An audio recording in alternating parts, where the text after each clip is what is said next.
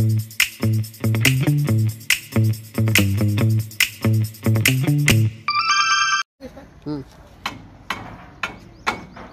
Friend hi guys मैं Rajpal Sawatkar, Trimurti motors Pushkar हाँ देखिए, मारुति पेट्रोल अल्टो कार है। इस कार के अंदर प्रॉब्लम था स्टार्टिंग ट्रबल का और झटके मारने का प्रॉब्लम था। और इसको एलपीजी किट ऑलरेडी फिट किया हुआ है। इसको स्टार्टिंग में प्रॉब्लम आने की वजह से कुछ मैकेनिक ने, कुछ लोगों ने इसको बोल दिया कि इसका हेड खोलना पड़ेगा, इस हेड में प्रॉब्लम है। तो अभी हम आपको बताएँगे कि इसमें एक्चुअल में क्या प्रॉब्लम है। समीर, चालू करो गाड़ी।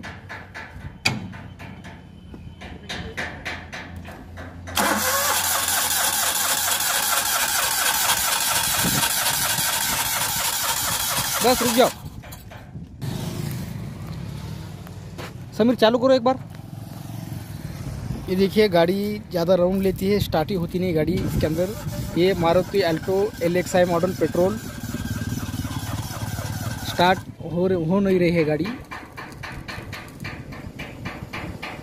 हाँ समीर, करो वापिस एक बार। करो स्टार्ट करो। बस, रुक जाओ। देखिए ज़्यादा सेल्फ मारने से राउंड ले रही है लेकिन इंजन स्टार्ट नहीं हो पा रहा है। अभी हम आपको इसमें क्या प्रॉब्लम है ये आपको हम अभी तुरंत बताएँगे।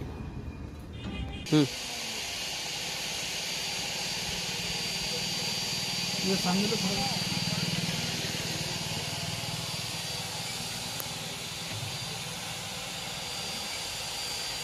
कोई नहीं।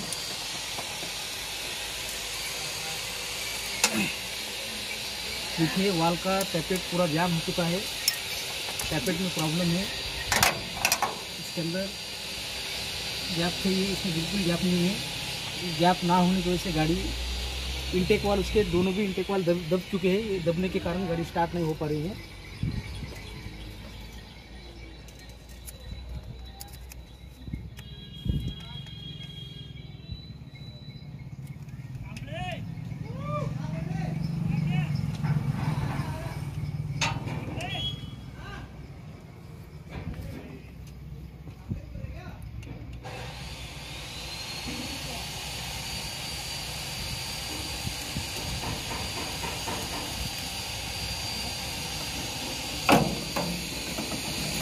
इंटेक वाल को टैपेट सेट करना चाहिए। अभी इसको गेज लगा फ्लेयर गेज लगा के करना चाहिए।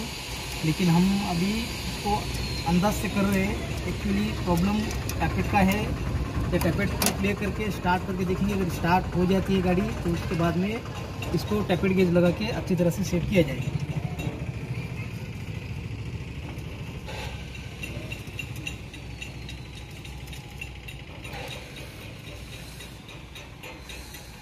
बताओ।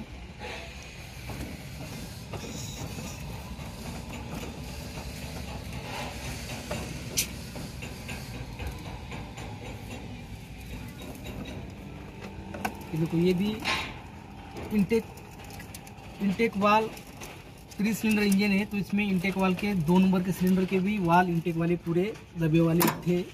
दबे वाले होने के कारण उसमें गाड़ी में स्टार्टिंग ट्रबल आ चुका है।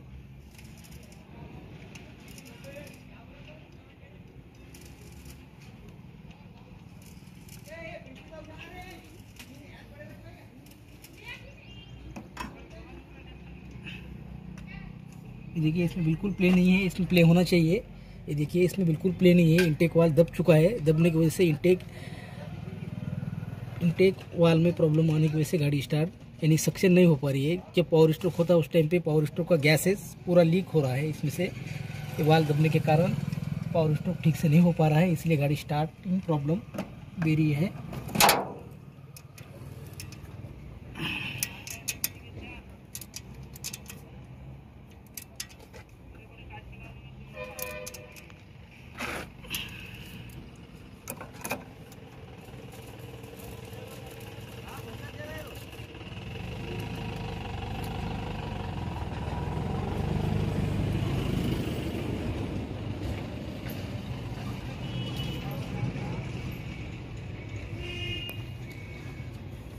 समीर हम्म। चलो आप अभी क्या करो टैपिट कोर लगा दो फटाफट और बताएँगे अपन गाड़ी स्टार्ट होती है या नहीं देखेंगे चलो।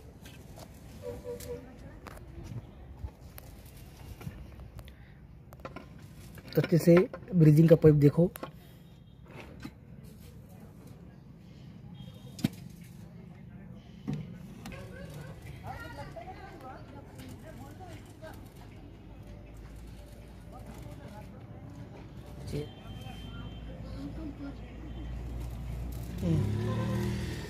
टपेट करो का ब्रीदिंग पाइप लगा दीजिए, ये वाला।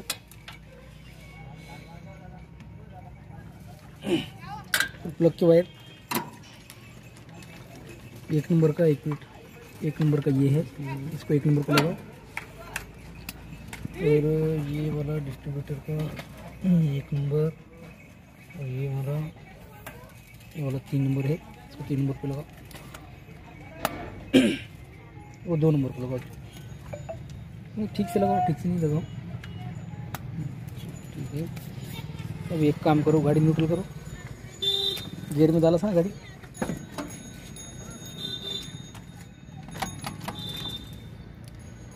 समीर न्यूट्रल हो गई गाड़ी? अच्छा। अच्छा मारो सेल तो देखिए, गाड़ी के अंदर सिर्फ़ टैपेट सेटिंग का ही प्रॉब्लम था। इसके अलावा दूसरा कोई प्रॉब्लम नहीं था। लेकिन इस गाड़ी को बहुत कोशिश की लोगों ने मैकेनिक लोगों ने स्टार्ट करने की। किसी ने बोल दिया कि इसमें हेड का काम है। हमने तो कुछ किया नहीं, इसको अभी सिर्फ़ इतना ही किया। हमने इसको तो बस टैपेट पर खोला है और टैपेट सेटिंग किया तो देखो, बढ़िया स्टार्ट हो गई गाड़ी। और रेस भी अच्छी तरह से हो रही है।